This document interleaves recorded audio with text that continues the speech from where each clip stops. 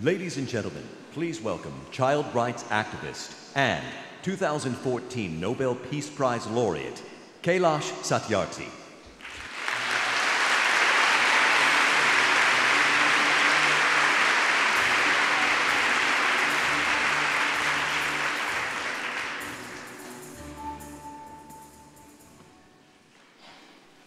Dear sisters and brothers, it's my pleasure and honor to be here this evening.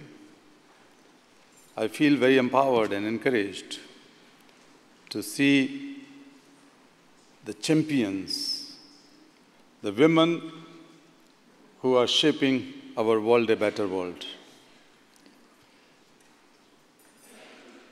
I always say that when a girl is born, God smiles and gives an evidence that she is here. Wanted to make sure that his creation will continue. When a girl's, when a girl picks up a pencil and start writing on paper, the power of a million guns weakened by that. When a one, once a girl goes to school, the whole world's open up. Today, the great champions for the cause of women, for the cause of humanity, who are being awarded here are sources of inspirations to the whole world. But let me tell you that we live in a world. I work in freeing child slaves for last 35 years. And I know girls are sold and bought like animals and sometimes in lesser prices than the animals. But when we start reading the news from Syria, that a girl or a group of girls are made hostages, and five, six, seven year old girl is sold for sex slavery in lesser price than a cigarette pack. My head hangs down in shame. I feel angry about it. Almost 60% of illiterate women and girls in the world are looking at us.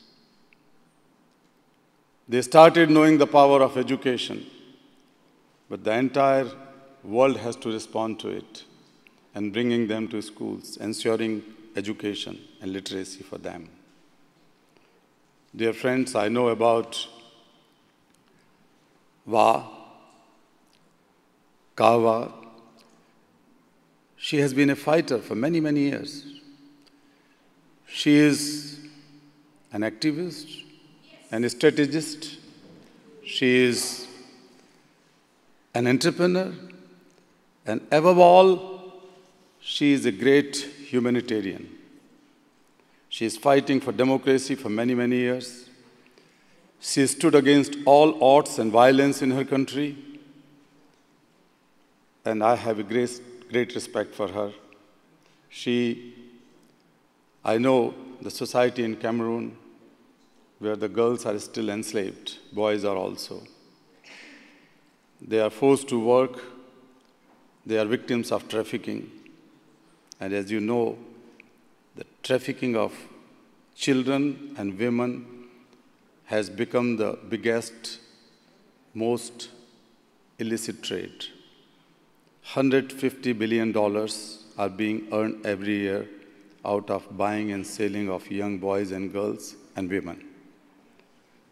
Cameroon is a place where it is not easy to survive and champion the causes of children and women and youth. She is also a youth icon and with all my respect and pride, I uh, invite her, and uh, she is going to receive the award in a few minutes. Uh, where is she? I don't know.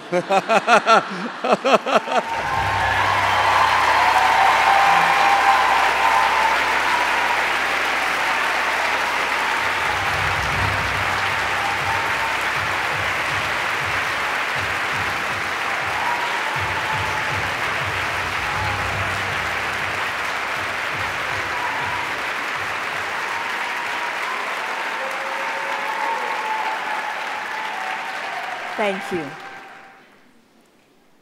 Africa is one of the world's great paradoxes.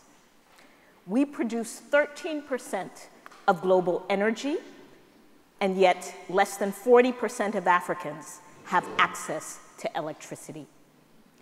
We are that land of smiling, laughing people, and yet one out of every four of our children is undernourished. We have some of the world's fastest growing economies, yet 50% of Africans live in extreme poverty. The reasons? Bad governance, corruption, poor management, and more.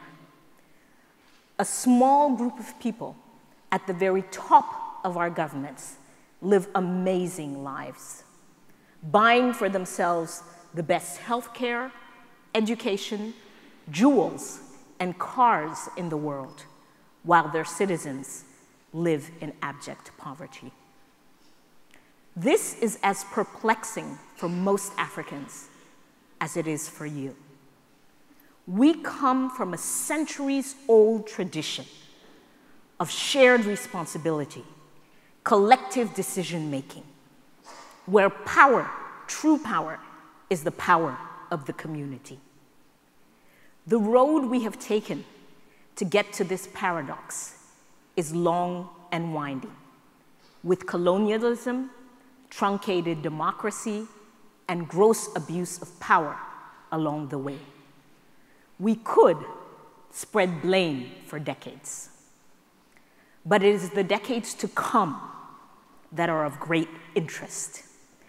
Africa today stands at the crossroads of possibility. Yes, we have the possibility to invent a different future for ourselves and for the world. We can ally our traditions, which put human beings at the very center of all development, with modern science and technology to solve daily problems.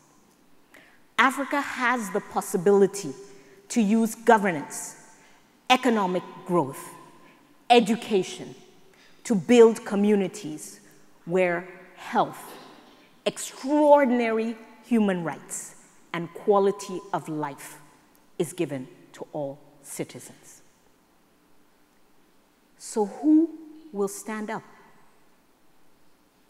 Who will face violence and repression? Who will dare to run towards fear in order to invent a different future for Africa. I am here to tell you, we are standing up.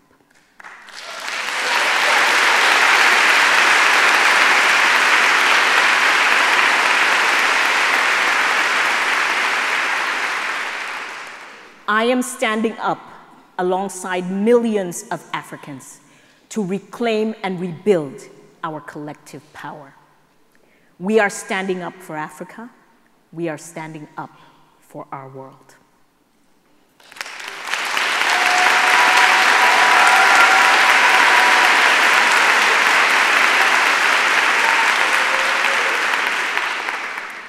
With Vital Voices, we made this video to remind us all of the collective power of Africans that has crossed generations.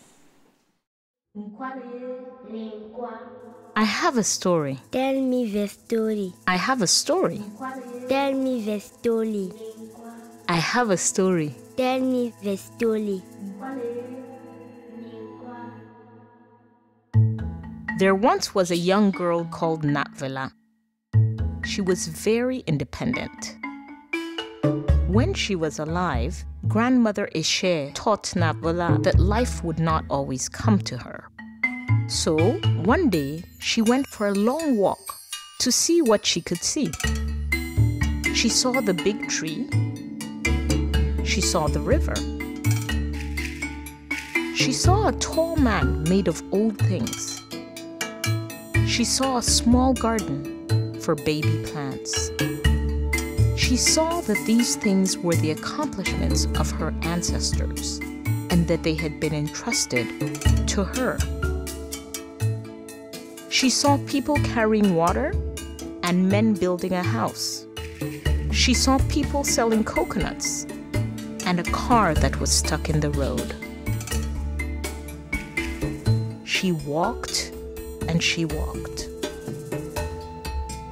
She saw more things, but these things made her pause. There were people who could not find work, people who had no place to sleep, schools where it was difficult to learn, and rivers full of waste. It was then that Navila felt small and alone. She felt powerless, so she called out to her ancestors How can we solve these problems? In the wind, she heard grandmother Eshe. People have always faced challenges.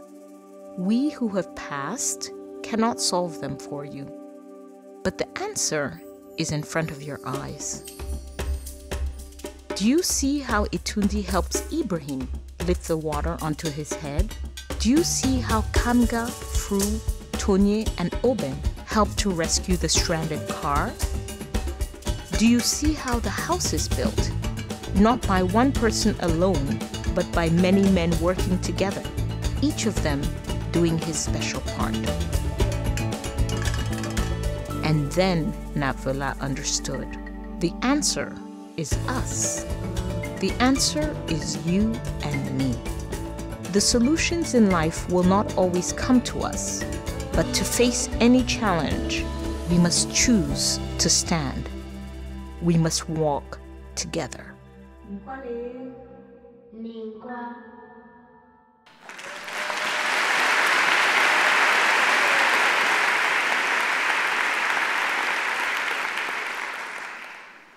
So we are standing to educate our citizens on their rights and empowering them to confront dictatorship, corruption, violence, and ignorance. We are standing to build communities where women, alongside men, take leadership, take decisions to build healthy communities. In my country, Cameroon, we are standing to say no more to over 30 years of bad governance and poverty, and to say yes to reaching our full outstanding potential as a nation.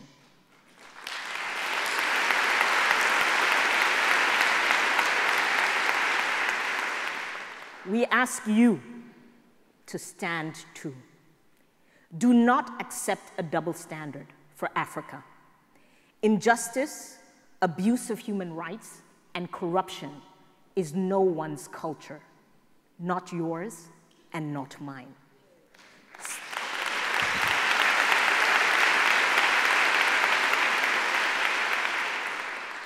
Stand up and support grassroots leadership. Provide knowledge, finance, technology to the Africans who are standing up.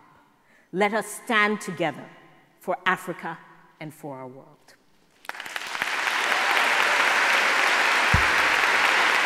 For her personal integrity and her commitment to democracy and social justice, Vital Voices is proud to present a 2015 Global Leadership Award to Kah Walla.